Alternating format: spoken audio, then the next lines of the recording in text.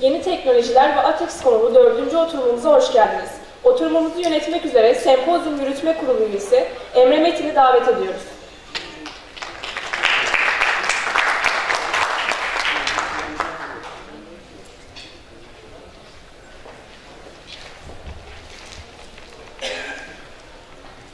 Merhaba herkese tekrar. Ee, program oldukça sarktığı için biraz daha hızlı gitmeye çalışacağız. O yüzden ben hızlıca konuşmacılarımızı davet etmek istiyorum. Mustafa Bağan, e, Abdurrahman Bey, Abdurrahman Akman, Özlem Özkılıç ve Alper Acar'ı da yerlerine davet ediyorum.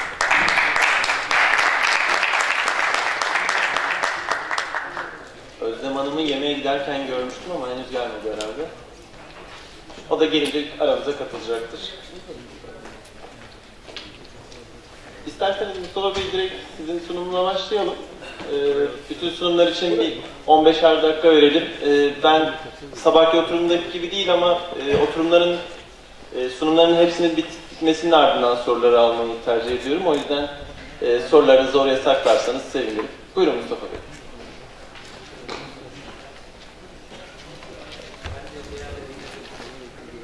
diğer arkadaşlar gibi bu sempozyumun e, oluşmasını sağlayan, emekleri geçen herkese şükranlarımı sunuyorum. Ayrıca sizleri de saygıyla selamlıyorum. E, benim e, sunumum kısa olacak. E, değişik bir konuyu seçmeye çalıştım. Özellikle son zamanlardaki e, son iki senede diyelim Türkiye'de gündemde olan Endüstri 4.0'ı e, insan hatasıyla birleştirmeye çalıştım. Ee, Endüstri 4.0 bildiğiniz gibi Almanya'nın başlattığı bir high-tech e, strateji çalışmalarından sonra ortaya çıkmış olan bir olay. Ee, özellikle 2006 yılında başlatılan bir olay.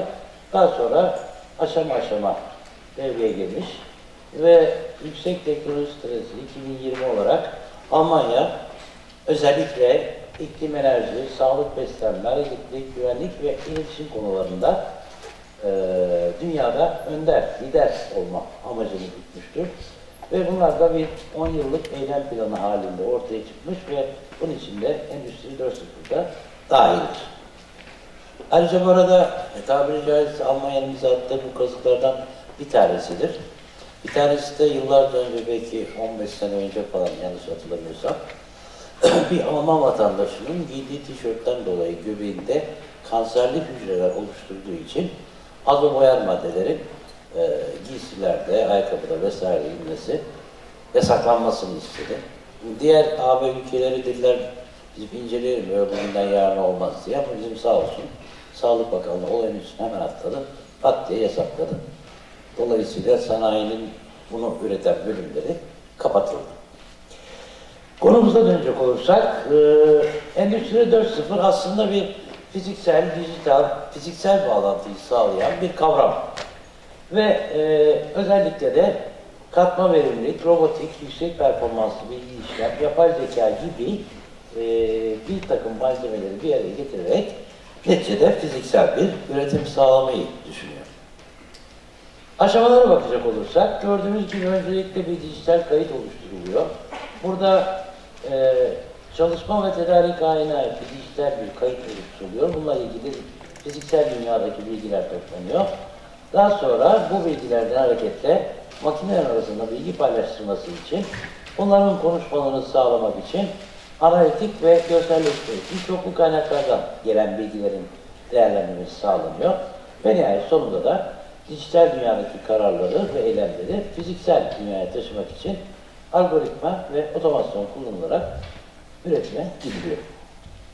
E, CNN'de aşağı yukarı 3 ay, 4 ay önce bununla ilgili güzel bir program vardı. E, seyrettiyseniz makinelerin birbiriyle konuşması, sipariş verilmesi vesaire gibi gerçekten de insan faktörünü en aza indiren bir yaklaşım. Kimya sanayinde ne alakası var? Kimya sanayi aslında çok eskilerden kendisini kullanmış olduğu e, fotoseller, sensörler vesairelerden oldukça detaylı bilgi toplamıştır. Yani bu bilgileri 4.0'a geçmek için kullanmakta büyük e, zorluk çekmeyeceğini düşünüyorum. Mesela türbinler, kompresörler, ekstrüder gibi kritik elemanların sürekli olarak sensörlerden veriler toplanarak bunlar dijital ortamda değerlendirmeye alınabilir. Böyle olduğu takdirde kimya sanayine geçişte ne faydaları var? Tabii ki ilk, ilk baştaki ana hedef verimliliğin arttırılması ve risklerin azaltılmasıdır.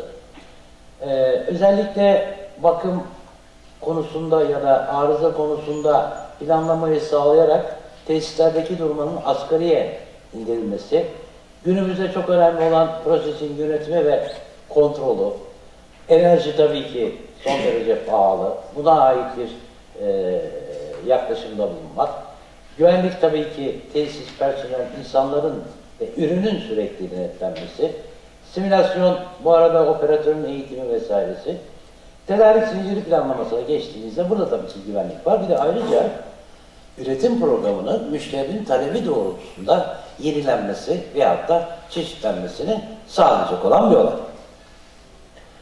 Buradan baktığımızda insan bunun neresinde yer alıyor? Normal olarak Rasmussen insan hataları için birisi tarafından bir çeşit refans hareketinden sapma gösterdi, insani fiiller olarak tanımlamış. Baron'da endüstriyel kazaların %80'in tamamen ya da kısmen insan eylemlerinden kaynaklı belirtmiş. Meşhur Henry'de biliyorsunuz e, kazaların %80'inin insan davranışından kaynaklandığını öne sürmekte. Mesela bir büroda bakın insanların büroda dahi yapmış olduğu hataları rahatlıkla görebiliyorsunuz. İnsan davranışından kaynaklanan hatalı. Tabi e, hatalı durumlar da var. E, çevre de pek düzgün değil ama onun yanında insanların yaptığı bu işi biraz daha tehlikeli hale getirebiliyor.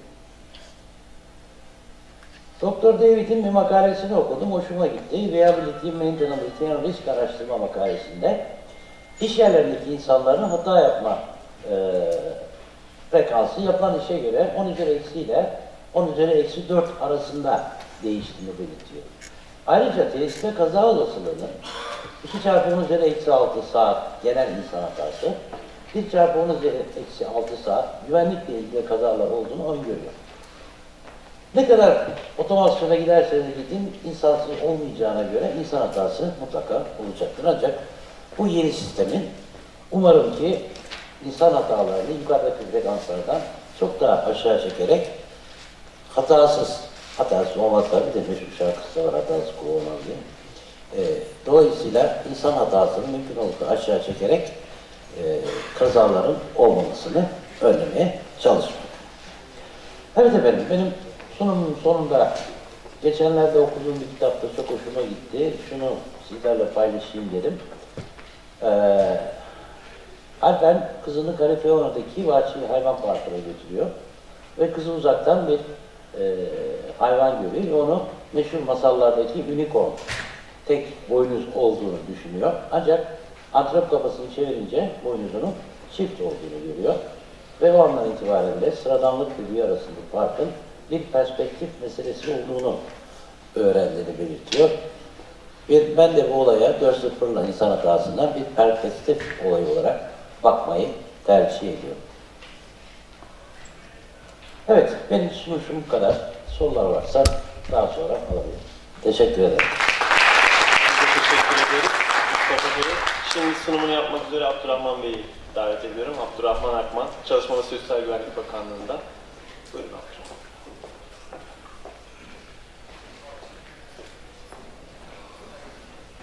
Teşekkür ediyorum Sayın Başkan.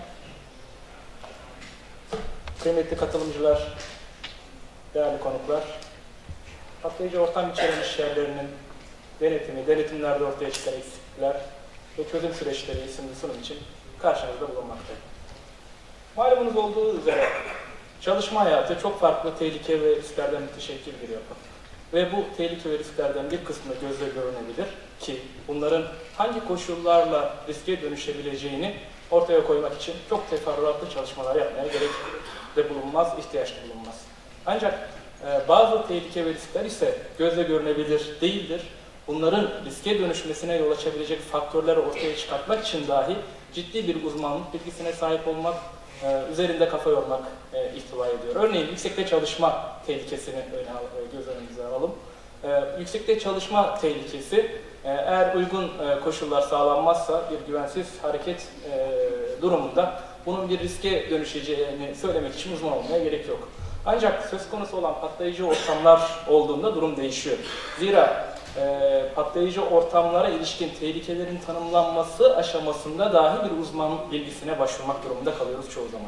Hele ki bu tehlikenin hangi koşullarda riske dönüşebileceğini ortaya koymak çoğu zaman e, ciddi e, kafa yorma üzerinde e, durum değerlendirmesi yapma durumunu ortaya koyuyor. Dolayısıyla patlayıcı ortamlara ilişkin e, risklerin diğer risklerden farklı bir yönü bu. Bir diğer yönüne gelecek olursak e, aslında bu yönde insanoğlunun risk algısının şiddet ağırlıklı olmasından yön. Ne demek istiyorum? Aslında istatistikleri incelediğimiz zaman e, iş kazalarından dolayı ölümlerin e, patlayıcı ortamlarda değil, inşaat iş yerlerinde olduğunu hepimiz biliyoruz. Ancak e, biliyorsunuz ki bu ölümler e, mutat bir şekilde diyebileceğimiz şekillerde meydana geliyor ve kamuoyunun bu anlamda çok da fazla ilgisini çekmiyor. Ancak bir iş kazasında birden fazla ölüm olduğunda ki bu şiddetin daha ağırlıklı olduğu bir durum, böyle olduğu zaman e, özellikle medyanın ve insanların çok daha fazla ilgisini çekiyor. Bu açıdan da bakıldığı zaman patlayıcı ortamlar diğer risklerden farklı bir e, konuma geliyor. Sayın Başkan, değerli konuklar, biz 2013 yılında çalışanların patlay 2003 yılında çalışanların patlayıcı ortamlarından korunması hakkındaki yönetmeliği çıkarttık. Aradan 14 yıl geçti. Bu 14 yıl geçmesine rağmen henüz daha temel bazı sorunları dahi çoğu zaman çözebilmiş durumda değiliz.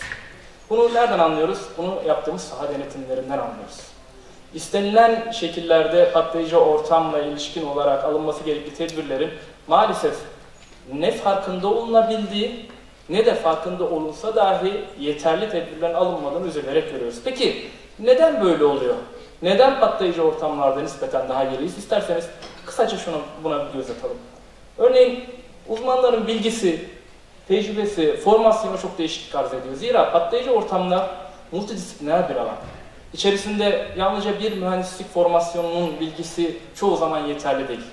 Çok farklı disiplinlerden uzmanların bir araya gelmesine muhtaç bir konu. Bu açıdan bakıldığı zaman farklı disiplinlerden, farklı formasyonlardan gelen uzmanların farklı tecrübelere sahip olması elbette doğal. Tabi bu çoğu zaman bir kakafoniye neden oluyor. İşte bu e, karmaşıklığın ortadan giderilmesi belki de e, çözmemiz gereken en önemli sorunların başında oluşuyor. Bir diğer konu uzmanlar çok farklı yöntem usullerle dokümanlar hazırlıyor, durum değerlendirmeleri yapıyor, tedbirler almaya çalışıyor ya da aldığını düşünüyor. Bilgi kirliliği var. Teftişlere gidiyoruz ya da teftişlerden sonra da bunlar görülüyor. Bir uzman diyor ki müfettişler 60.079 standartını zorunlu tutuyor. Bunun haricindekini zinhar kabul etmiyor. Bir başka uzman diyor ki yok öyle bir şey ya. Şimdi bu tür durumları da görüyoruz biz, yaşıyoruz. Bunlarla ilgili e, teftiş kurulu başkanlığının uygulamaları neler? Biraz sonra zaten onlara e, bakmış olacağız. Ve tabii çuvaldızı da kendimize batırmak lazım. E, patlayıcı ortamlara ilişkin mevzuatımızın altyapısının yetersiz olduğunu da itiraf etmeliyiz. Zira malumunuz 2003 yılında çıkarılan yönetmelikler çoğunlukla kural koyucu olmaktan uzak, proaktif bir takım denetimlerin alınmasını işverene bırakan ve bu e, denetim e, bu e, önlemlerin de alınması için risk değerlendirmesini ortaya koyan bir anlayışta. Bu açıdan bakıldığı zaman kazuistik yapıda olan işçi sağlığı iş güvenliği tüzüğü ya da eski adıyla parpat tüzüğündeki gibi kurallar yok. Bunun bazı avantajları var, bazı dezavantajları var. Bunların tartışmasına girmeyeceğiz ancak e, Avrupalı e, kanun koyucular bu yönetmeliklerle beraber bir şey daha yapıyor ki biz onu yapamadık henüz. İnşallah ilerleyen aşamalarda bunun yapılacağını e, düşünüyorum. Nedir onlar? Uygulama kodları, uygulama rehberleri. Bizler henüz daha bu uygulama rehberlerinin e, mevzuatımıza kazandırılmasını sağlamış durumda değiliz. Ancak bununla beraber her şeyde devletten beklememek lazım geldiğini e, söyleyebilirim. Ne demek istiyorum bununla ilgili? Avrupa'daki uygulama rehberlerine baktığımız zaman bunların çoğu aslında devlet kurumlarına ait değil. Bunların çoğu sivil toplum kuruluşları tarafından üretilen belgeler. Dolayısıyla biz akademisyenlerden, sivil toplum kuruluşlarından e, ve özellikle de e, bir araya gelen e, üreticilerin bir araya geldiği oluşturdukları sendikalar e, ya da dernekler e, vasıtasıyla da bu tür dokümanların üretilebildiğini biliyoruz. Bu tür uygulamaları da bekliyoruz. Dolayısıyla bir uygulama birlikteliğini sağlayamıyoruz. Patlayıcı ortamla ilişkin olarak sürekli gündeme getirilen bir mesele var. E, patlayıcı ortam denildiği zaman sürekli insanların aklına tek bir şey geliyor. Patlayıcı e, ortama neden olabilecek tehlikeli bölgelerin sınıflandırılması. Patlayıcı ortam tehlikeli bölgelerin sınıflandırılmasından ibaret değildir. Biz tehlikeli bölgelerin sınıflandırılmasını ne amaçla yapıyoruz? Ne işimize yarar bize bölge 1 olması, bölge 2 olması, bölge 0 olması? Eğer bir tedbir almayacaksak bununla ilgili hiçbir işimize yaramaz. Tehlikeli bölgelerin sınıflandırılması bir araçtır. Bu araç alınması gerekli tedbirlerin niteliğine karar verme amacına hizmet eder. Dolayısıyla istediğiniz kadar sınıflandırma yapın. Buraya 1 deyin, buraya 2 deyin, şuraya 3 deyin, buraya 5 deyin. Hiçbir kıymet harbiyesi yok.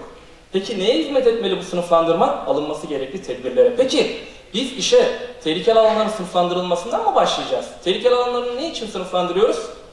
Tehlikeli alanlara isabet eden elektriksel ekipmanların niteliğine karar vermek için. Peki tutuşma kaynakları yalnızca elektriksel ekipmanlardan mı ibaret? Hayır. Ee, endüstride yaşanmış kazaların kök nedenlerine şöyle bir baktığımızda aslında tutuşma kaynaklarının elektriksel ekipmanlar değil, çoğu zaman beklenen bazı statik elektrik gibi, içten yanmalı motorlar gibi ya da mekanik kıvılcımlar gibi tutuşma kaynaklarının olduğunu görüyoruz. Dolayısıyla biz tehlikeli bölgelerin sınıflandırılmasını yalnızca bir tutuşma kaynağı olan elektrik e, ekipmanlar için yapıyoruz. Bu açıdan e, tüm patlamadan korunma dokümanının içerisinde çok küçük bir bölümü oluşturduğunu da özellikle altını çizmek isterim. Peki diğer kalan bölümlerin ne oluşturuyor? İsterseniz hep beraber bakalım. Temel olarak yapmamız gereken husus biliyorsunuz İş Sağlığı Güvenliği Kanunumuzun 5. maddesiyle de hüküm altına alınmış olan bir konu. Nedir o? Risklerden korunma ilkesi ve bunların sıralaması. Nedir bunlar? Hepimizin bildiği konular. Öncelikle patlayıcı ortam oluşmasını engellememiz lazım. Peki neler yapabiliriz? İlendiği için bunları hızlı geçiyorum. Bunları yaptık mı? Kesin yaptığımızdan emin olduktan sonra eğer yapılan işin doğası gereği daha fazla bir tedbir alamıyorsak o zaman ikinci basamağa geçmeliyiz. Nedir ikinci basamak? Statik elektrik başta olmak üzere tüm tutuşma kaynaklarının aktif etkili hale gelme ihtimallerini mutlaka değerlendirmemiz gerekiyor. Peki bunun için ne yapmalıyız? İş yerimizde ortaya çıkabilecek tüm tutuşma kaynaklarını A'dan Z'ye sıralamalıyız. Bunlar hangi şekillerde iş yerimde ortaya çıkabilir, aktif ya da etkili hale gelebilir? Bunların her biri için, yalnızca elektriksel ekipmanlar için değil, her biri için mutlaka bir önlem almak lazım ve bu önlemi de patlamadan koruma dokümanı içerisinde yer alması gerekiyor. Ee, bunun özellikle detaylarına biraz sonra bakacağız. Tutuşma kaynaklarıyla organizasyonel anlamda da mücadele etmemiz lazım. Yine Türkiye'mizin en güzide kurumlarından meydana gelen birinde e, meydana gelen kazada aslında teknik bir neden değil, organizasyonel bir nedenden bir patlama geldiğini biliyoruz. Dolayısıyla aslında sanılanın aksine teknik önlemler elbette bizim için önemlidir, elbette değerlidir ancak bunlarla beraber organizasyonel tedbirleri bir bütünleyici tedbir olarak görmezsek maalesef sistemle sonuçlarla çoğu zaman karşılaşılabiliyor. Peki üçüncü aşamada ne yapacağız? Yapılan işin doğası gereği tutuşma kaynaklarıyla da her zaman mücadele edemeyebiliyoruz. Alelade şekillerle ortaya çıkabiliyor. Bunstad kazasına bakın içten yanmalı bir motordan kaynaklanmıştı. Yani belki de bu risk değerlendirmesinde dikkate alınmayan bir husustu yani. Bu açıdan bakıldığı zaman biz patlama etkisinin azaltılmasına yönelik de tedbir almamız lazım. Peki bu nasıl? E, vaktimiz biraz kısıtlı olduğundan dolayı hızlı geçiyorum. Zaten bununla ilgili özellikle birinci günde e, değerlendirmeler yapıldı. Uygun tesis yerleşiminin de patlama etkisini azaltmak için başvurulması gereken en değerli yöntemlerden birinin olduğunu da altını çizmek istiyorum. Peki patlama riskinin değerlendirilmesiyle devam etmemiz lazım. Ee, bu risk ilkelerine uyduktan sonra. Patlama riskinin değerlendirilmesinde özellikle ilginizi sunmak istediğim bir husus var. Bakın ek 1, çalışanların patlayıcı ortamlarının korunması hakkındaki yönetmeliğin ek 1'i ne diyor işverene? Parlayıcı ve yanıcı maddelerin hava ile yaptıkları karışımlar bir patlayıcı ortam oluşturmadığı kanıtlanmadıkça buralar patlayıcı ortam olarak kabul edilebilir. Şimdi iş yerine gidiyorsunuz, e, ya bu alanlarla ilgili neden önlem almadınız? Ya orada benim yanıcı maddem yok ki. Ya neye göre yok? E, öyle yani neye göre bir şey yok, cevap yok. Bizim olarak temel olarak yapmamız gereken şey nedir?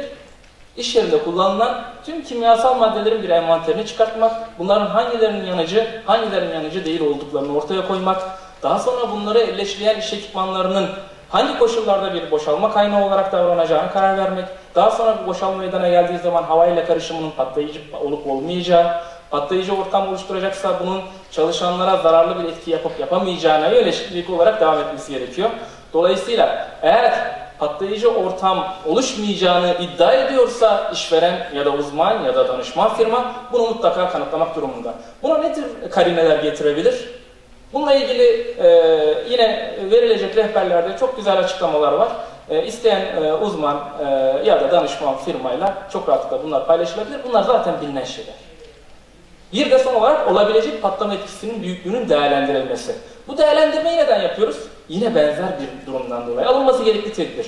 Bu e, değerlendirmeyi işte hepimizin bildiği gibi e, ücretsiz olan Alon programıyla ya da işte Fast, Effect gibi programlarla yapabileceğimiz gibi bir takım matematiksel Excel hesaplamalarıyla kendimiz de yapabiliriz. Bunun yanı sıra kalitatif takım değerlendirmelerle de bunu ortaya koyabiliriz. Örneğin bir yanıcı tozun elleşlendiği mikser. Bu mikserde bir patlama olur mu? Olur diyorsanız eğer bunun bir etkisi olacak öyle değil mi? Dolayısıyla bunun etki alanına isabet eden çalışanlar var ise o halde bu çalışanları korumamız lazım. İşte bu olabilecek patlama etkisinin büyüklüğünün değerlendirilmesi ancak çok küçük bir örnek. Ancak sizin tonlarca LPG tankınız ya da amonyak tankınız ya da başka yanıcı sıvılarınız ya da gazlarınız varsa bunlarla ilgili daha nitelikli e, patlama etkisinin değerlendirilmesini ortaya koymanız icap eder. Peki patlamadan korunma dokümanı biliyorsunuz yönetmeliğimizin alameti farikası. Tüm alınan tedbirler aslında patlamadan korunma dokümanında vücut buluyor. Dolayısıyla baktığımız zaman neler olacak bu dokümanda? Temel olarak yönetmelik maddeleriyle konuşmamız gerekirse 6. madde kapsamında patlama riskinin değerlendirilmesi, 9. madde kapsamında tehlikeli bölgelerin sınıflandırılması ve nihayet bunları yaptıktan sonra alınması gerekli tedbirlerin belirlenmesi ve uygulanması aşamasına geçilmesi icap ediyor. Şimdi tabi patlayıcı ortamlara ilişkin olarak alınması gerekli tedbirlere gelmeden önce e, bir hususu özellikle altını çizmek istiyor ve ilginize sunmak istiyorum. Bakın bir e, gaz haberinden alınan haber. Ne diyor? Balondaki helyum gazı bomba gibi patladı. Ha, helyum gazı patladı, 5 araç yandı. Dikkatiniz bir şey çekiyor mu? Helyum gazı patlamaz değil mi? Ya bakın eğer biz patlayıcı ortamlara ilişkin bir takım tedbir alacaksak o halde patlayıcı ortamın doğasını iyi anlamamız lazım kimyasal maddelerin ya da maddelerin kimyasal, fizikokimyasal, e, fiziksel özelliklerini ile patlayıcı ortam doğası arasındaki ilişkiyi iyi kurmamız lazım. Eğer bu ilişkiyi bilmiyorsak aldığımız kararların çoğu doğru olmayacak, uzman yargısı dediğimiz o yargıyı işletemeyeceksiniz. Peki nerelerde lazım olacak bize bu uzman yargısı? Örneğin bir havalandırmanın konfigürasyonunu ortaya koymak amacıyla lazım olacak. Bunun bir hesaplanması yoktur havalandırmanın konfigürasyonunu. Neye göre belirlenir? Yanıcı maddenin fiziko-kimyasal özelliğine yani bağıl yoğunluğuna bağlı olarak değişir. Dolayısıyla biz maddelerin kimyasal, fiziksel, fiziko-kimyasal özelliklerini bilmiyorsak eğer öncelikle bunları öğrenmemiz lazım. Çünkü bunları bilerek uzman yargısına başvurulur. Bunları bilmeden yapılacak uzman yargısı yargı değildir.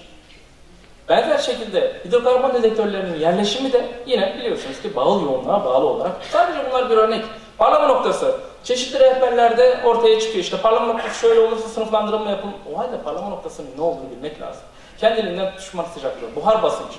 Bunların ne olduğunu bileceğiz ki o halde siz tecrübeli, uzman birisi olabileceksiniz ve yargı çalıştırmak durumundasınız. Peki tehlikeli bölgelere sınıflandırılması ne gerek? Dediğim gibi patlamadan korunma dokümanı tehlikeli bölgelerin sınıflandırılmasından ibaret değil. Ancak en fazla köpürtülen alan bu alan olduğu için özellikle birkaç hususun altını çizmek isterim. Her şeyden önemlisi mevzuatımızda tehlike alanlarının sınıflandırılmasına ilişkin binaların yangından korunması hakkındaki yönetmelik ve iki tane zorunlu standart harici bir mevzuat maddemiz bulunmamaktadır. Özellikle altını çizmek istiyorum.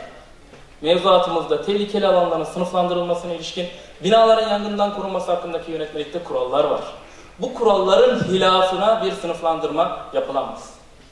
Eğer binaların yanından korunması hakkındaki yönetmelikte yanıcı ve alevlerin sıvıların depolandığı yerler bölge 1'dir. Açıklıklardan itibaren 5 metre yerden işte 0.8 0.5 metre yükseklik ya da 1 metre yükseklik bölge 2 olarak tarif edilmişse böyle bir kural varsa ki var O halde uzman ya da danışman firma ya da işveren burayı bölge 1 değil bölge 2'ye çekemez. Binaların yangından korunması hakkındaki yönetmelikteki kural herkesi bağlayacağından dolayı, zorunlu standarttaki kurallar herkesi bağladığından dolayı tekrar etmek gerekirse bu yönetmeliğin hilafına bir değerlendirme yapılamaz. Peki e, bunun haricinde kalan yerler sadece yanıcı alevlerin sıvıların depolanmasından ibaret değil ki iş yerleri. Bunun dışında kalan yerlerde bu anlamda herhangi bir metot mevzuatımızda kural belirlenmediğinden dolayı uzmanın keyfiyetine kalmış bir durumdur. Ancak bunun elbette sınırları vardır. Hangi metodun kullanılması değerli olan bir şey değildir. Önemli olan kullanılan metodun kurallarına, kısıtlarına riayet etmek, e, iş yerinizdeki ilgili bölümün e, koşullarının ilgili rehberdeki koşullarla uyumlu içerisinde olduğunu ortaya koymak durumundasınız. Peki kabaca bir bakalım neler var. 6079 malum standartımız var. E, ona bir standardı bundan yararlanılabilir. 60, e, ona 2 var biliyorsunuz tozlarla ilgili. API RP 505 var Amerikan Petrol Enstitüsü. Yıllardır, uzunca yıllardır bunun üzerinde ciddi çalışmalar yapan bir kuruluş. Dolayısıyla bu kuruluşun da ortaya koyduğu bir takım e, değerlendirmeler neticesinde sınıflandırma yapılabileceğini özellikle belirtmek istiyorum. IP15 var, CI3135 var, NFP 497 var, SUVA var özellikle dikkatinizi çekmek istiyorum. E, SUVA yönetmeliği oldukça pratik bir şekilde e, ve çoğunlukla orta ve küçük ölçekli işletmeler için tehlikeli bölgelerin sınıflandırılmasını dakikalar içerisinde size sunuyor. Sadece bir şeye dikkat etmenizi istiyor. Ortaya koyduğu proses ekipmanı ile sizin proses ekipmanınız benzerlik taşıması lazım. Aralarında bir analoji olması lazım. Aksi takdirde o proses parametrelerine sahip olmayan bir ekipman e, sizde varsa o halde bu e, rehberlerden yararlanmayacağınızı özellikle altını çizmek isterim. Başka neler var? Zorunlu standartımız eğer bir akaryakıt e, istasyonunuz varsa 12820 standartında belirtilen kurallar dahilinde bir sınıflandırma yapmanız lazım. Dolayısıyla elinize 60.079 alıp e, bir işlem tesis edemezsiniz. Ya da bir LPG e, istasyonunuz varsa yine benzer şekilde 11939 standartı ki bu zorunlu bir standarttır. Resmi gazetede yayınlanan bir standarttır. Dolayısıyla bundan yararlanmak icap ediyor. 12215 örneğin sprey boyacılığı yapıyorsunuz. 60079 standartından yararlanamazsınız. Zira standartın kendisi böyle bir durumla karşılaşıyorsanız sektör spesifik e, dokümanla başvurun demektedir. Kendisi zaten bununla bir çare olamayacağını kendisi deklar etmektedir. Peki 60.079'u biraz daha isterseniz büyütelim. 60.079 ne diyor? Bakalım 60.079 temel olarak 4 tane metodu e, kullanıcının önüne bırakıyor. Keyfiyet tamamıyla kullanıcıda. Bu 4 metottan herhangi birini kullanabilirsiniz ancak 3. ve 4. metotlar ülkemiz kültürüne uygun olmadığı için çok da fazla kullanılmaması daha sağlıklı olur. Bunun tartışmalarına girmeyeceğim. E, ilerleyen aşamalarda tartışırız. Birinci e, metoda bakalım. Bakın boşalma kaynakları metoduna göre sınıflandırma yani temel olarak hesap metodu. Yani diyor ki eğer e, benim ortaya koyduğum kısıtlar ve kurallar dahilinde bir proses ekipmanım varsa o halde benim ortaya koyduğum hesaplamaları kullanarak bir sonuca ulaşabilirsin. Bu senin keyfiyetinde. Uymadın mı? Hoşuna gitmedi mi? Ya da e, benim ortaya koyduğum kısıtlardan dolayı elin kolun mu bağlı? Bu durumda diyor ki bakın sanayi kuralları ve milli standartları kullan. Bakın 60.079 standartının bir an için zorunlu bir standart olduğunu kabul edelim. Böyle bir şey yok da bir an için zorunlu bir standart olduğunu kabul edelim. Bakın 60.079 standartı kendi içinde dahi kendi içinde dahi diğer bilimsel kaynaklara refer ediyor. Neden böyle bir şey yapıyor? Çünkü 60.079 standardı çok kısıtlı proses koşullarına çözüm üretebiliyor. Kendisi de biliyor. Ancak çoğu zamanda da hayat kurtarıcı olduğunu söyleyebilirim. Bu açıdan bakıldığı zaman tekrar etmek gerekiyor. Ee, özellikle vurduk e, kelimelerimi özenle seçiyorum. Mevzuatımızda 60.079 standardı zorunlu olmamakla beraber zorunlu olsaydı dahi biz API gibi, IP gibi, CE3135 gibi, SUBA gibi bir takım standartları zaten kullanabilir olurduk ki. Peki bu e, standartlar neler? Kendilerinin verdiği için e, söylüyorum. Bakın işte 31-35, İsviçre'nin kullandığı SUVA, İngiltere'nin IP-15'i İGEM. E, kazan dairelerinde bir hesap yapıyorsanız bakın 60.079 standartından uzak durmanız gerekir. Neden uzak durmanız gerekir? Çünkü düşük basınçla çalışan bir e, sistem var karşınızda. Düşük basınçla çalışan sistemler için genel olarak 60079 e, uygulamaları çok büyük zonlar üretmektedir. Peki ne yapmak lazım? Yani sadece kazan dairelerindeki sorunla biz Türkler mi karşılaşıyoruz? Hayır. Dünya da bu sorunla yüzleşiyor. Ee, dünya bu konuyu çok güzel dokümante etmiş, ortaya bir takım hesaplamalar koymuş. Dilerseniz hemen İGEMEN 25 standartlarına başvurmak suretiyle çok pratik, çok kısa e, şekillerle de sınıflandırma yapılabilir. Peki sadece diyoruz ya patlamadan korunma dokümanı risk değerlendirmesi, tehlikeli bölgelerin sınıflandırılması değildi. Alınması gerekli e, tedbirlere karar verdim. Özellikle eğitiksel ekipmanlar üzere ve bunları sahaya yerleştirdim. Elektriksel ekipmanlar sahaya yerleştirildiği zaman sanılanın aksine sorunlar bitmiyor. Bilakis sorunların başlangıcına neden oluyor. Neden? Çünkü bu ekipmanlar sahaya montajı yapıldıktan sonra ila nihaya kullanılacak ekipmanlar değil. Yaşam döngüsü içerisinde mutlaka tasarım parametrelerinin doğruluğundan emin olmak üzere çeşitli bakımlar ve periyodik kontroller yapılmasına muhtaç. Bu açıdan bakıldığı zaman bir doküman yaptım, rafa kaldırdım tamam benim bütün sorumluluğum bitti. Hayır öyle bir şey yok. Ekipmanlarınızın hala tasarım koşullarını devam edip ettirmediğine yönelik mutlaka değerlendirmeler yapılmak durumunda. Peki ne tür uygunsuzluklarla karşılaşabiliriz? İşte örneğin görüyorsunuz burada bir kablo kesitinin uygun rekorla seçilememesi. Bakın gördüğünüz gibi e, kablonun iç damarları dışarıda kalmış. Neden? Uygun blend seçilmemiş burada ve e, daha küçük bir, e, daha büyük bir blendde daha küçük bir kablo kesiti konulmaya çalışılmış. Özellikle alev yollarında olmak üzere yoğun, yoğun korozyon. Buradaki uzmanlarımız çok daha iyi anlattı konuları. Özellikle D tipi koruma tipine sahip olan ekipmanlarda alev yolları oldukça önemli, hassas konular. Bu alev yolları e, çoğu zaman korozyona uğruyor ya da bilinçli ya da bilinçsiz buralardan içeriye sözüm ona su, toz vesaire giriyor diye kapatılıyor. Biz bu uygulamaları dahi gördük. Neden böyle yapılıyor? Çünkü patlayıcı ortamların yönetimi bir elektrikçiye bırakılıyor. İş yerinde elektrikçi bakıyor, D tipiyle korunmuş bir aydınlatma armatürü, dış atmosferde çalışıyor, içerisine su girmiş. Ya diyor ki bunun içerisine su girmesin. Ne yapayım? Ya şuralardaki boşluklardan giriyor herhalde diyor. Ve oralara bakın abartmıyorum. Oraya bir conta kesiyor ve conta koyuyor. Ya da işte gördüğünüz gibi 15-16 saplamayla e, kapatılan bir D tipi mahfaza görüyorsunuz. Bu D tipi mahfazanın şununla ihtiyaç olmadığını düşünüyor elektrikçi.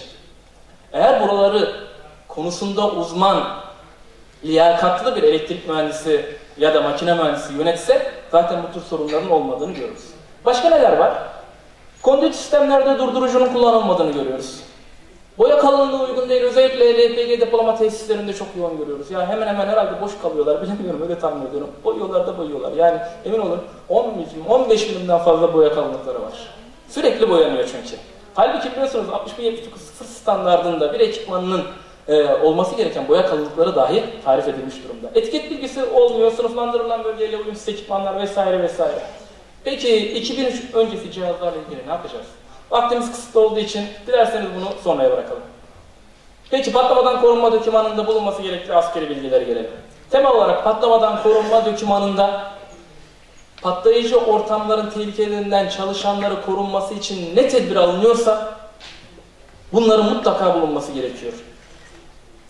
Eskilerin tabiriyle patlamadan korunma dokümanı ayarına mani, efradına cami olmak durumunda. Ne demek? Mümkün olduğu kadar ilgisiz bilgileri dışarıda tutup ilgili olan tüm bilgileri dokümanın içerisinde tutmak lazım. Bu açıdan bakıldığı zaman neler olmalı? Patlama riskinin değerlendirildiğine ilişkin bilgiler.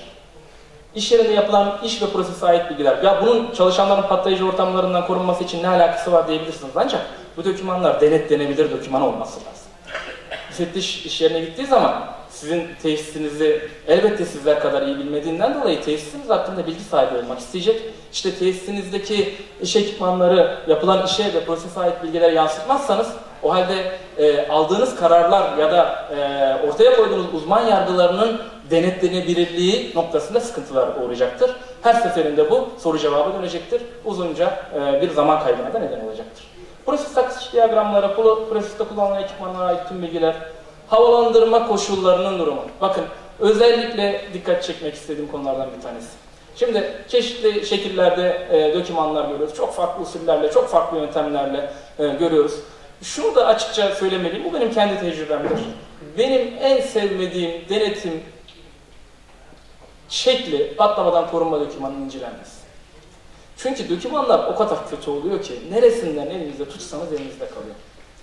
Yine e, kötü olmasının nedenlerinden bir tanesi de havalandırmanın kıymetlendirilmesi aşamasında ortaya konulan bilgi eksikliği ya da yanlış yorumlardan kaynaklanıyor. Ne demek istiyorum? E, örneğin uzman diyor ki e, benim bir mazot tankım var, bunu kapalı bir hacme koydum. Bu kapalı hacmi de e, API 505 standardı kapsamında sınıflandırılmayan alan ilan ettim diyor. Koyuyor referansını da API 505 standartının ilgili sayfası. Buraya kadar sorun yok. Peki API 505 standardı ne diyor? Evet, burayı sınıflandırılmayan alan şeklinde uygulayabilirsin ancak burada bir havalandırma ihtiyacı var. Bakın havalandırılmayan alanlarda bırakın bölge 2'yi sınıflandırılmayan alanı bölge 0 oluşur. API ne diyor? 6 kere hava değişim sayısını isterim ben burada. Dolayısıyla siz havalandırılmayan bir ortamda gidiyorsunuz, API'ye başvuruyorsunuz ama API'nin mutlaka olması gereken bir şeyi görmezden geliyorsunuz. Bu doğru bir uygulama değil. Bu ne bilime sığar, ne mühendisliğe sığar, ne tekniğe sığar. Zaten hiçbir şeye uymaz. Bu ne de hukukidir. Bu açıdan bakıldığı zaman lütfen pratik bir takım rehberler doğrultusunda yapılan sınıflandırmalarda o rehberlerin tamamının mutlaka okunması ve oralarda özellikle satır aralarında yazılan hususların da doğruluğunun iş yerinde var mı yok mu incelenmesi gerekir. E, lokal havalandırmayla ya da cebri havalandırmanın olduğu durumlarda engellenmiş olan durumları mutlaka dikkate alınabiliyor olması gerekiyor. Gaz ve buharların yayın karakteristiklerine uygun olmayan bir takım eğer hesaplamalar yapılıyorsa bir takım modeller görüyoruz. Normalde sıvı salımı olması gereken yerlerde gaz fazında boşalmaya ilişkin bir takım denklemler kullanıldığını görüyoruz. Eğer hesaplamaya ilişkin e, bir değerlendirme yapıyor ise uzman. Ulusal ve uluslararası standartlar ve iyi uygulama örneklerinden elde edilen bilgiler ve tavsiyelerin de mutlaka dokümana e, eklenmesi gerekiyor ve elbette patlayıcı ortamların tehlikelerinden korunması için alınan ve ilave olarak alınması gerekli tedbirlerin de mutlaka dokümanda bulunması lazım. Aslında bakacak olursanız e, gerçek, iyi anlamda bir doküman tüm tedbirlerin alındığını ortaya koyan bir dokümandır. Çünkü e, çalışanların patlayıcı ortamların tehlikelerinden korunması hakkındaki yönetmelikteki patlamadan korunma dokümanı tüm tedbirler alındığını ortaya koyan, ispatlayan bir dokümandır. Eğer siz uzman olarak, danışman firma olarak, işveren olarak bazı ilave tedbirlerin alınması gerektiğini ortaya koyuyorsanız aslında bu tamamlanmamış bir dokümandır. Yapılması gereken nedir? Belirli bir zaman içerisinde o aksiyonların nihayete erdirilmesi ve dokümanın güncellenmesidir. Peki başka neler lazım? Ee, muhtemel patlayıcı ortamlarda kullanılacak teçhizat ve yönetmeliğe uygun olarak seçilmiş ekipmanlar sertifikaları. Bu sertifikalar dediğim gibi 2003 sonrası ekipmanları bağlayan e, sertifikalardır. Patlama, ilişki, e, patlama etkisinin değerlendirildiğine ilişkin bilgilerin mutlaka bulunması gerekiyor.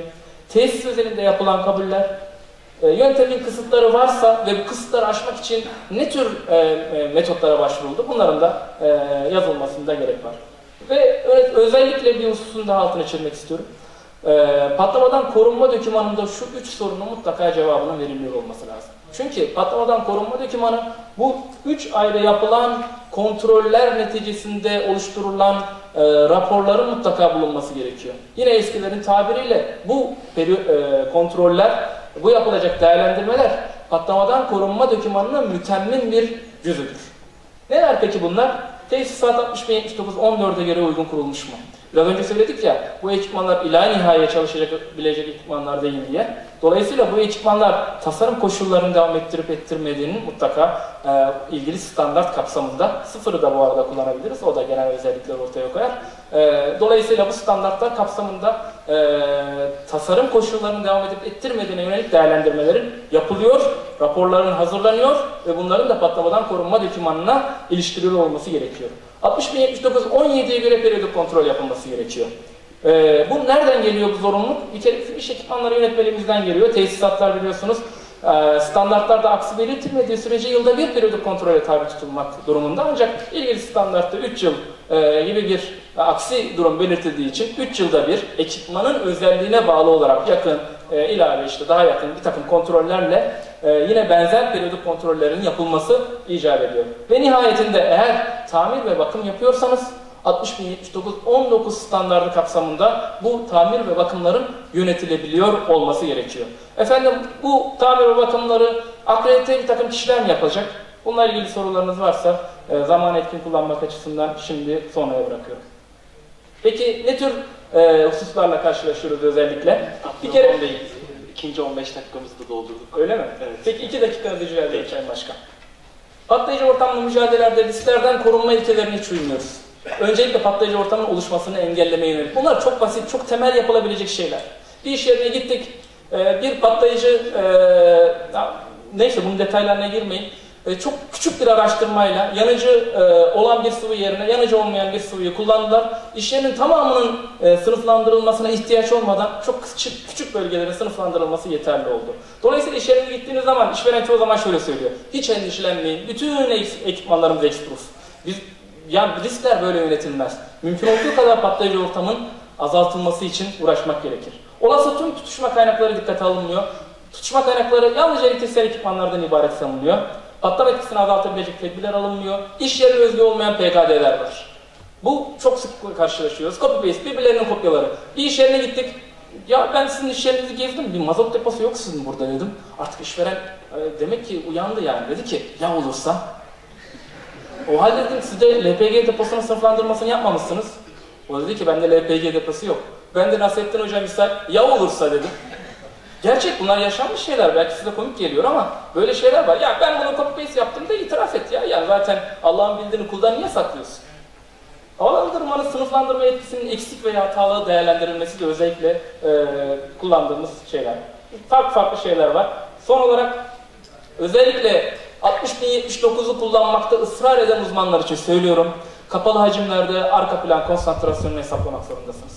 Bu vesileyle ben sözlerime son veriyorum ve bu güzel e, sempozyumun hazırlanmasında emeği geçen başta düzenleme kurulu olmak üzere tüm katılıcı, e, katılımcılara teşekkür ediyorum. Bu tür bilimsel kongrelerin ve sempozyumların artarak devam etmesini ümit ediyorum. Akademisyenlerin çok daha fazla ilgi göstermesini ümit ediyor.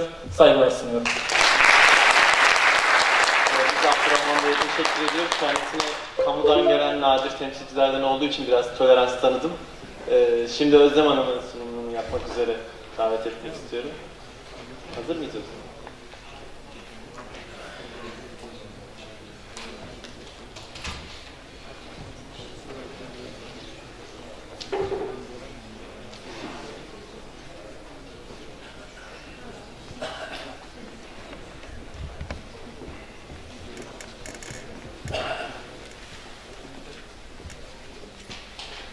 Merhabalar. Ee, sunumda Seveso Direktifi ile ilgili e, özellikle yapılması gereken kantitif risk değerlendirmesinde LOPA analizi, olay ağacı ve hata ağacı analizini karşılaştırmak istedim e, sunumumda. E, Seveso Direktifi çerçevesinde büyük endüstriyel kazaların önlenmesi hakkındaki yönetmelik çerçevesinde işletmeler e, kantitif risk değerlendirmesi yapmak durumunda. Tabii bu risk değerlendirmesi çe- çerçevesinde de dünyada kullanılan çeşitli e, analizler var. Bunlardan özellikle e, LOPA analizi ve tabii ki e, hata ağacı analiz, e, olay ağacı analizi kullanıldığında işletmelerde e, tabii ki bu analizler sonucunda ortaya çıkabilecek yatırımların bu konuda çok ciddi etkilenmesinden dolayı bu iki analizin e, uygulama problemleri nelerdir? Bunlarla ilgili bilgilendirme yapmaya çalışacağım. E, hepimizin bildiği gibi yönetmeliğimiz aslında 2013 yılında yayınlandıktan sonra defalarca e, şu anda ötelendi. E, ilk değişiklik e, Temmuz 2017'de yapıldı ve bu değişiklik sonucunda e, 7. madde ek bir kapsamında yapılan bildirimler e, yaklaşık e, yayımı tarihi itibarinden bir yıl içerisinde yenilenmek zorunda şu anki e, yapılan değişiklikte. E, ve e, yine e, Temmuz 2017'de yapılan değişiklik sonucunda 9. ve 14. maddeler 1.7.2019'a kadar süre verilmiş durumda. Özellikle e, yine alak seviyesini de etkiliyor tabii ki bu. Ve geçici ikinci madde çerçevesinde 10. ve 11. maddeler güvenlik raporu ve büyük e, kaza önleme politika belgesi de 31 e, 12-2018'e kadar da son kanun değişikliğiyle tamamlanması gerekir e, şeklinde bir değişiklik yapıldı en son yapılan değişiklikle. Yönetmelikte 1.7.2017 tarihinden e, geçerli olmak üzere yayın tarihinden yürürlüğe girer dendi. Şimdi yapılan değişiklik sonucunda Temmuz 2017'den e, yine Temmuz 2018'e göre yönetmenin ekinde yapılan değişiklikle işletmeler CLP tüzüğü çerçevesinde bildirimlerini bir yıl içerisinde yenilemek zorunda kalacaklar ve doğal olarak da bu süre zarfında belki de bazı kapsam dışı firmalar alt seviyeli, alt seviyeli olanlar üst seviyeli geçme ihtimalleri de var. Çünkü kapsamda olmayan aerosoller, katılar gibi bazı kimyasallarda kapsama girmiş oldu SEA yönetmeliği çerçevesinde. Böylelikle aslında bir manada yönetmeliğimiz de Seveso 2'den Seveso 3'e de e, e, en azından bildirim kısmı uyumlaştırılmış oldu. Böylelikle e, bildirimlerin e, yenilenmesiyle işletmeler yeniden seviyelerini çek etmek durumunda kalacaklar. E, en son yapılan e, değişiklik çerçevesinde de e, geçici 10. madde konuldu 6331'e ve bu çerçevede 30. maddenin birinci fıkrası yumuşak G e, beğendiğinde halen faaliyette bulunan işletmelere getirilen güvenlik raporunun hazırlanması yükümlü hükümleri 31-12-2018 tarihine kadar tamamlanır e, deniyor. Buradan da ben şunu anlıyorum, bakanlık galiba bir daha ötelemeyecek gibi. Çünkü buraya süre e, konması demek, e, kanun değiştirmesi çok güç e, olduğuna göre yönetmelikte bir daha öteleme olmayacak diye ben anlıyorum bu yapılan değişiklikler. Şimdi e, kantitatif risk değerlendirmesinin maddesine irdeleyecek olursak, e, yönetmekte kantitatif risk değerlendirmesi 8. maddede verilmiş durumda ve burada işletmecinin yapması gerektiği hususlar madde madde sayılmış ve tabii ki hangi yöntemlerle yapılması gerektiği de işletmeciye bırakılmış.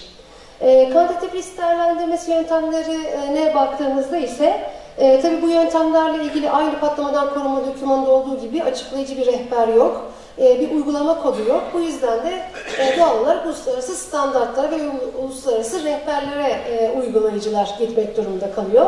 Tabii bu da ciddi bir sıkıntı yaratıyor çünkü büyük kaza senaryosu hazırlamak zorundayız. Özellikle üst seviyeli kuruluşlar test başına 6 tane, alt seviyelilerde sayı yok. Artık e, ne kadar hazırlayabilirlerse e, çünkü bir sayı konmamış. Büyük kaza senaryoları hazırlamak durumunda. E, bu durumda e, tabii ki mümkün olan en yüksek önlem seviyesinin tespit edilmesi gerekiyor. Burada da e, o büyük kritik e, tehlikeli ekipmanlarda ortaya çıkabilecek yangın, patlama, toksik yayılım gibi e, sonuçların meydana gelme ihtimallerinin frekansının 1 çarpı 10 4 bölü yıl seviyesinin altına e, çekilmesi gerekiyor. Tabi bu da aslında bir manada işletmecinin yapacağı yatırımı da e, ortaya koyuyor. Çünkü siz ne kadar e, önlem koyarsanız doğal olarak da e, o kadar e, maliyeti e, artırmış oluyorsunuz prosesin bir manada e, eskimişliğine de bağlı olarak. E, büyük kaza senaryoları dediğim gibi üst seviyeli kuruluşlarda e, güvenlik raporu tebliğine göre büyük kaza senaryolarının en az 6 tanesi hakkında ayrıntılı bilgi verilmesi gerekiyor. Ve burada da mümkün olan en yüksek önlem seviyesinin nasıl sağlandığının ayrıntılı bir şekilde güvenlik raporunda bilgi verilmesi gerekiyor. Tabii e, alarm seviyesi dediğimizde alarm seviyesi aslında yurt dışında çeşitli e, yöntemlerle hesaplanamıyor, hesaplanabiliyor. Bunlardan bir tanesi LOPA, e, Layer analiz dediğimiz koruma katmanı analizi. Bir diğeri de fault tree, event tree analizi yani hata ağacı analizi ve olay ağacı analizi. Bunun haricinde FTA ile ETA'nın birleştirilmiş Bowtie modeli de var. E, bu özellikle LOP analiziyle e, FTA ve ETA analizini karşılaştırdığımızda hem uygulama problemleri açısından ne tür problemlerimiz var hem de e, maliyet açısından işletmelere getirecek maliyetin de bir analizini yapmaya çalıştım. Şimdi e, senaryolara baktığımızda özellikle güvenlik raporu tebliğimiz bizden diyor ki tedbirlerin teknik veya insan faktörüne bağlı olup olmadığını açık ve net bir şekilde bize tarif edeceksin diyor, bilgi verilir diyor.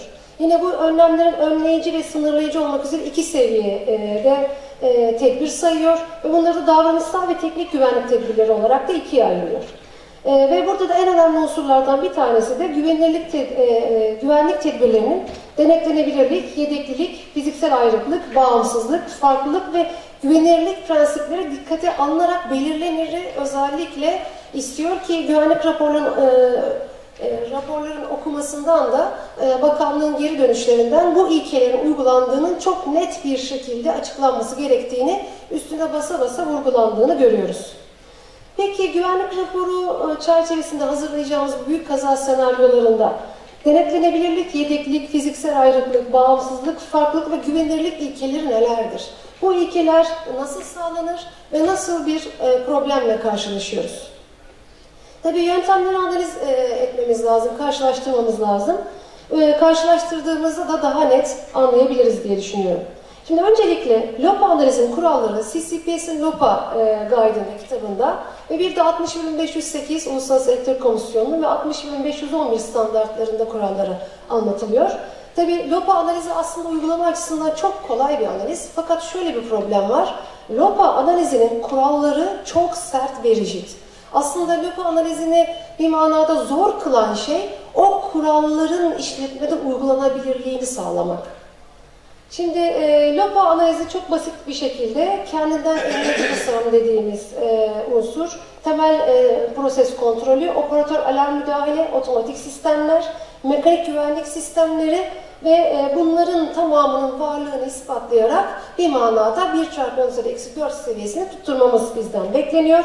Ve tabii ki buradaki en önemli unsurlardan bir tanesi de katmanların doğru seçildiğini de ispatlanması gerekiyor.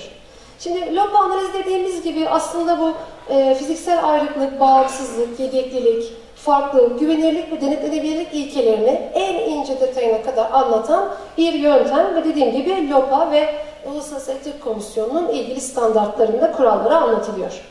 Şimdi bu kurallara e, bakacağımız zaman dediğim gibi LOPA çok kolay bir yöntem. Uygulama açısından mesela danışman firmalar açısından e, tercih edilir. Neden? Çünkü çok kolay bir yöntem uygulama açısından. Fakat işletmede bir fiil o kuralları uygulamaya geldiğinde ise inanılmaz derecede e, zorlayıcı. Çünkü işletmelerin neredeyse %95'i LOPA kurallarına uygun değil. E, en azından ülkemizde değil. Ee, yine e, hata ağacı analizi ve e, olay ağacı analizine baktığımızda hata ve olay ağacı analizinde de tabii problemler var. Orada da en büyük problem yöntemin karmaşık ve zor olması. E, ve tabii e, özellikle yeni güvenlik raporlarında e, tüm e, yapılan proses tehlike analizindeki kök nedenlerin hata ağacı analizinde görülmek iste, görülmesi isteniyor bakanlık tarafından. Bir örnek verecek olursak, diyelim ki HAZOP analizinde düşük, düşük basınç değerlendirilmiş olsun yüksek basınca neden olan tüm e, kök nedenlerin e, FT analizinde kök neden olarak değerlendirildiğinin e, gösterilmesi isteniyor. E, yine e, hata ağacı analizindeki en önemli e, unsur, hata ağacı analizi tek başına yetmez. Hata ağacı analizinde olay ağacı analiziyle ilişkilendirmek ve analizi bu şekilde tamamlamak gerekiyor. FT ve ET analizine baktığımızda ise bu analiz zor, karmaşık ve ciddi bilgi birikimi gerektiren bir analiz. Fakat kuralları LOPA'ya göre oldukça esnek. Yani analizi yapabilirse işletme ve düzgün yapabilirse aslında bir manada işletmeye de avantaj sağlayan bir yöntem. Şimdi akıllardaki sorulara cevap verecek olursak ilgili uluslararası standartlara bakmak lazım. LOPA ilkelerini nasıl tarif ediyor ve zorluklar neler bu analizde? Kaynaklarda verilen kuralları tek tek inceleyecek olursak. Şimdi öncelikle fiziksel ayrıklık ilkesinden başlayalım. Fiziksel ayrıklık ilkesi aslında adından da belli. Sistemler ayrık olacak diyor. Ki işletmelerde ne yazık ki iki farklı katmandan bahsedebilmemiz için diyelim ki bir temel proses kontrolümüz var. Bir de acil durum kapatma sistemi yani Safety Instrument System dediğimiz ESD sisteminiz var. Çoğunlukla işletmeler bir tane ses sertifikalı transmitteri alıyor, tankın tepesine takıyor. Diyor ki benim diyor ESD'm de var. O sadece bir transmitter. Temel proses kontrolden kontrol ediyorsunuz. O zaman bunu ayrık diyemezsiniz. Sizde temel proses kontrol var. O cihazın C sertifikalı olması hiçbir anlam ifade etmez. Ee, yani baktığımızda demek ki öncelikle fiziksel ayrıklık ilkesinin sağlanması lazım. Aynı kural hata ağacı analizi içinde geçerli. Yani iki analizde diyor ki ister acil durum kapatma sistemi ister temel proses kontrol e, olsun. Buradaki sistemlerin tamamen ayrık olması gerekir. Ee, yine bir başka ilke e, kontrol önlemleriyle ilgili. Kontrol önlemi dediğiniz zaman bir kontrol önlemi sensör, lojik ve final elemandan oluşur. Burada da diyor ki final eleman yoksa yani sadece bir alarm üretiyor sonunda bir aksiyon yoksa sen bunu kontrol önlemi olarak alamazsın. Bu kurala baktığımızda yani örnek verecek olursak bir LOPA'da diyelim ki sensörde alarm üretilmesi başka bir yerde bir vanadan kapatma eylemi. Bunların ikisi ayrık birbirinden bağımsız farklı kontrol önlemleri değildir. Bunun ikisi e, eğer sensörden alarm geliyor ve vana kapatma eylemi yapılıyorsa bu bir tane önlemdir. Tek bir e, bariyerdir. aynı kural hata analizi için de geçerlidir. Bağımsızlık ilkesinde yine en önemli unsurlardan bir tanesi de bir katmanın çalışmasını e, yine o katmandaki başka bir elemanın bozulması engellememelidir. Yani bir, e, iki farklı eylem e, bariyer değildir. Bu önlemler ya da bu e, parçalar bozulması durumunda birbirinden e, ayrık olması gerekir. Örnek verecek olursak, mesela diyelim ki bir seviye transmitterini algıladınız ve vanayı kapattınız. Başka bir seviye transmitterini aynı PLC üzerinden e, yine seviye algıladınız ve vanayı kapattınız. Aslında baktığınızda LOPA diyor ki, e, eğer diyor PLC'nin ortaksa diyor, o zaman diyor senin iki tane transmitter, iki tane vanan bile olsa fark etmez. PLC'nin ortak olduğu için senin sisteminde e, birbirine bağımsız değildir, ayrılık değildir. Bu ikisini sen bağımsızlık ilkesini e, ihlal ettiği için tek önlem olarak alacaksın der. Yani aslına baktığımızda LOPA ilkesinin en zorlayıcı kısmı buradır. Çünkü temel proses kontrolde bazı mesela büyük kimya fabrikalarında bu mümkün. DCS'te birden fazla aslında lojik ünitesi var. Bir temel proses kontrol bir lojik ünitesine bağlıyken öbürü diğer lojik ünitesine bağlı. Yani mesela biri bir DCS'ten yönetiliyorken öbürü öbür DCS'ten yönetiliyor. O zaman bağımsızlık ilkesinden bahsedebilirsiniz ve doğal olarak da ikisini ayrı kontrol önlemi olarak alabilirsiniz. Ama İşletmelerin çoğunda tek PLC var. Bütün temel proses kontrol tek PLC üzerinden kontrol ediliyor. O zaman oradaki tüm kontrol önlemlerini tek kontrol önlemi kabul etmeniz gerekiyor LOPA'ya göre. LOPA analizini yaparsanız. Fakat aynı kural hata analizinde geçerli değildir. Burada e, özellikle ortak eleman hatası dediğimiz bir hata hesaplanarak bunu da hesaba katabiliyorsunuz. Doğal olarak da hesaba katabildiğiniz için de hesap zor ama uygulama aşamasına baktığımızda daha e, en azından işletmeye bir esneklik sağlamış oluyor. E, tabii ortak eleman hatası dediğimizde minimal set hesabı dediğimiz Boolean matematik kullanılarak e, analiz kısmı çok zor bir analiz kısmını yapmanız gerekiyor. Bunun da çok burada anlatmayacağım detaylı çok e, geniş kuralları var. O zaman da bu kısmı düzgün uygulamanız gerekir eğer FTA, ETA e, analizi seçilirse. Alarm üzerine insan aktivasyonunda da ikinci bağımsızlık ilkemiz var. Burada da e, aynı operatörün iki kez eylemini düşünmek mümkün değil LOPA'da. Çünkü LOPA analizi diyor ki bir alarma cevap vermeyen operatör bir sonraki alarma cevap verir mi? Bu sorunun cevabı tabi LOPA'ya göre hayır. Birinci eyleme cevap vermeyen bir operatör ikinci bir alarma da cevap vermez. İşte bu durumda da ikinci alarm yanıt vermesi pek olası değil diyerek diyor ki bir operatör kendisinden bağımsız değildir. İşte bu nedenle de e, operatör müdahaleleri de yine LOP analizinde ciddi bir sıkıntı özellikle kullanmak. Burada da e, aslında çok daha ayrıntılı e, insan hatası ile ilgili kuralları söylemiş LOP'a ama ben onları biraz toparladım ve 7 ilke olarak anlatacağım.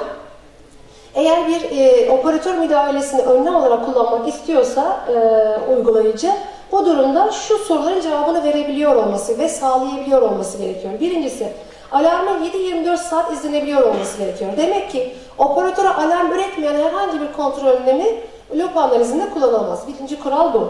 İkincisi operatör yanıt vermek için yeterli zamana sahip olması gerekir diyor. Ki burada da kendisi 15 dakika vermiş. Yani 15 dakika içerisinde o alarma cevap verebilir yetenekte olması gerekiyor. Üçüncüsü ve bence en zorlarından bir tanesi de başka dikkat dağıtıcı olmaması gerekir diyor. Örneğin e, alarm yönetim sistemi, alarm management sistem dediğimiz bir sistemin kurulmuş olması lazım fabrikada. Yani ben kaç tane fabrikada şu anda danışmanlık e, yapıyorum. E, şu ana kadar e, rastlamadım bunu uygulayan. Yani demek ki burada ciddi bir problem var. Alarm yönetim sistemi bambaşka bir şey. Bu e, kurmak için çok ciddi efor sarf edilmesi gerekiyor ve e, oradaki sistemlerin de buna uygun olması gerekiyor. Birçok işletmede ne yazık ki bu yok. E, yine yazılı bir prosedür ve talimat olması gerekir bu e, kurallarla ilgili. İyi eğitilmiş olması gerekiyor operatörün ve de bir e, kendi başına koruma e, katmanı olduğundan dolayı da fiilen uygulanmasını sağlamak için de denetimler hatta tatbikatlar yapılması gerekir.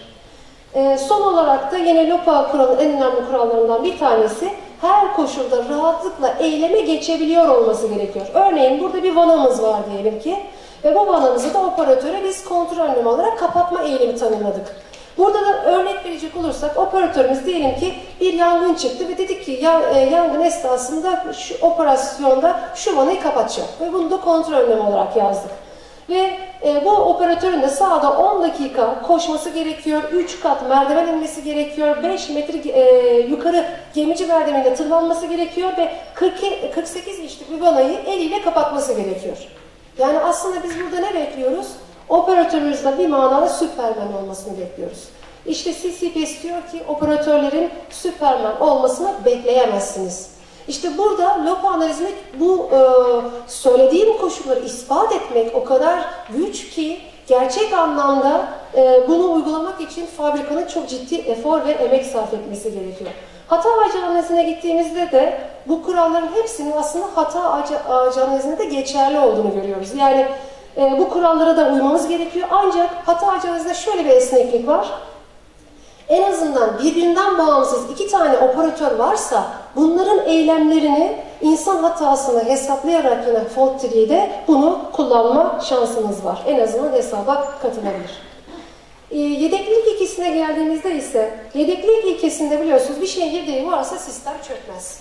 İşte bu ilkeden gittiğimizde LOPA analizi ile e, FTA ve ETA'yı karşılaştığımızda zaten LOPA analizinde sistemler birbirinden ayrık olduğu için LOPA analizinde çökmez. Çünkü dikkat ederseniz sensörü, PLC'si, vanası, sensör, PLC, vana ayrı. Zaten bunlardan bir kanalın çökmesi durumunda ikinci kanalın hata yapma ihtimali e, çok zayıflamış oluyor. Ama hata ağacı analizine geldiğinizde hata ağacı analizinde bu e, geçerli değil çünkü sistemler tamamen ayrık değil. Fakat burada da ortak e, neden hatası dediğimiz ayrı bir e, hata e, hesaplamanız gerekiyor. Yani eğer e, iki tane elemanınız mesela sensörünüz diyelim ki iki tane var. İkide bir diyelim ki hata yapma ihtimali var. Buna mimari deniyor. One out of two gibi. E, bunun bu sefer de common failure dediğimiz ortak e, hata modunu hesaba katmanız gerekiyor. Bu da tabii ki zor bir e, analiz. Bunun içinde 60508, 60511 gibi standartlardaki unsurları iyi biliyor olması lazım uygulayıcının. Yine e, hata ağacı analizinde farklılaştırma, yani e, bir eğer e, cinste sensör kullanıyorsanız farklı cinste bir e, sensör kullanmalısınız ki yine farklılaştırarak yine yedekleme ilkesinde ilgili kurallara uymanız gerekiyor. Yani hata ağacı e, bu kısmı da, da yine e, uygulama konusunda zorluklar var. Çünkü bilgi açısından ciddi bir bilgi birikimi gerektiriyor. Yine e, özellikle e, koruma katmanları analizinde çok önemli unsurlardan bir tanesi diyor ki temel proses kontrol elemanları için güvenilirlik değeri sil 1'den e, küçük olamaz. Yani biliyorsunuz sil 1 dediğimizde 10 eksi 1, sil 4 dediğimizde 10 eksi 4. Yani diyor ki PFD değeri yani talep anında hata yapma olasılığı 0,1'den daha düşük olamaz. E, hata analizinde aynı kural geçerli. Burada da bir fark, burada e, analizler birbirinden farklı değil. Yine bir başka e, unsur da şu. E, ister lop analizi ister fetal analizi ikisinde de aynı. Alarm üzerine operatör e, müdahalesi ya da fiziksel bariyer temel proses kontrol fark etmez. Bunların hiçbirine 10 eksi birden daha küçük bir değer veremezsiniz diyor. Çünkü onu da şu şekilde açıklıyor. Sil 1 değerindeki bir eğer sisiniz varsa yani bir acil durum kapatma sisteminiz varsa bunun minimum değeri 0,1 olacağına göre o zaman sizin temel proses kontrolünüz asla bundan daha düşük bir değer alamaz. Çünkü zaten sertifikalı değil, değerlendirilmiş değil. Aynı kural hata analizi için de geçerli. Ee, yine denetlenebilirlik ilkesine baktığımızda kritik komponentlerin belirlenmesi gerekiyor. Bunu e, HAZOP analiziyle yapılabilir. Burada da yeterli ispat edilmesi isteniyor bu ülkede. Yani sizin sisteminiz yeterli bakım süreçleri içerisinde yönetiliyor mu? Ve bu süreçler içerisinde arıza yapma ihtimalini değerlendirdiniz mi? İspat tespit ve ispat tespiti ve tabii ki bakım gerekliliği mevcut burada da. Aynı kural hata analizi için de geçerli. Kısa bir özet yapacak olursak, özellikle LOP analizi ile FT arasında karşılaştırmada e, LOP analizinin özellikle bağımsız ve ayrık e, sistemler istemesinden dolayı yüksek maliyet gerektiren bir analiz. E, 7 kuralının sağlanması oldukça güç, özellikle operatör müdahalesinde. E, ve e, analize baktığımızda analizin uygulanması çok kolay, çok basit bir uygulama, çok pratik. E, bilgi birikimi de gerektirmiyor fazla. E, FTA, ET analizine baktığımızda proses yatırım maliyetini düşürüyor çünkü e, sistem tamamen ayrık olmasını gerektirmiyor. e, ortak neden ve ortak eleman hatası hesaplanması gerektiriyor. Burası çok karmaşık. O modellemeleri kurmak, doğru kullanmak, sonra doğru kullandığı modelleri güvenlik raporunda iyi açıklamak bu kısım çok e, problem. İnsan hatasını aynı yaklaşım içerisinde Lopay'la yaklaşıyor. Burada da pratikte uygulama kolaylığı sağlıyor ama burada, burayı da yine hesaplamak ve hesabın içine katmak oldukça güç.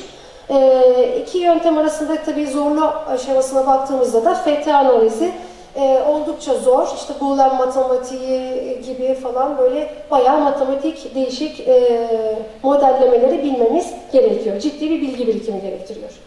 Şimdi e, sonuç olarak baktığımızda Avrupa Birliği ülkelerine baktığımızda özellikle rehberlerin mevcut olduğunu görüyoruz bu e, kantitatif değerlendirmesiyle ilgili. Yine e, rehberlerin var olmaması nedeniyle işletmecilerin tabii ki ve uygulayıcıların özellikle danışma firmaların da e, kafası e, karışabiliyor. Çünkü yöntemlerle ilgili bir e, tam bir yönlendirme veya bir rehber olmadığı için e, seçilen yönteme göre proseste tabii ki maliyet artabiliyor ya da zorluk artabiliyor, analiz zorluğu. E, doğal olarak da bu konuda bir e, kafa karışıklığı söz konusu. Yine LOP analizinin tercih edilmesi durumunda ve eğer ki kuralları birebir o rigid kuralları uygulamaya kalktığınızda bu sefer proseste ciddi bir proses maliyetinde artış meydana geliyor. O, diyelim ki e, LOPA'nın o maliyeti arttıran yapısından kurtulmak istiyorsunuz. FTA, ETA analizine geçtiğinizde de bu sefer danışman firma ya da işletmedeki uygulayıcılar çok kompleks bir analizin içinde develenmeye başlıyor ve o analizi e, yapıp inanılmaz derecede o sistemin analizini e, kompleks bir analiz içerisinde e, yapmaya çalışıyor. Fakat şöyle bir avantaj sağlamış oluyor. Proses ekipmanın maliyetini olduğu e, LOPA'ya göre oldukça aşağıya son sözümü e, söylüyorum düşürüyor. Bu konuda tabii ki Çalışma Bakanlığı'ndan özellikle ricamız ve Çevre Şehircilik Bakanlığı belki de AFAD beraber ortak bir rehber hazırlayabilirler acilen. Böylelikle en azından işletmecilere şu şu e, yönde gidebilirsiniz diye bir rehber olursa doğal olarak da herkes o yolu izlemiş olur. Son söz olarak şunu söyleyebilirim. Şayet bakanlıklar eğer LOPA analizini gerçek anlamda uygulayın diye bir zorlama e, yaparlarsa bu durumda proses maliyetini işletmecilerin e, ilk aşamada karşılaması pek zor, e, mevcut ya da pek mümkün değilmiş gibi gözüküyor. LOPA analizi çok basitmiş bir yöntemmiş gibi gözüküyor ama sanayide gerçekten fabrikaya, fabrikaya gidip de bu kurallara hadi uygulayın e, dediğinizde inanılmaz problemle karşılaşıyorsunuz. Evet, beni dinlediğiniz için çok teşekkür ederim. Çok teşekkür ediyoruz.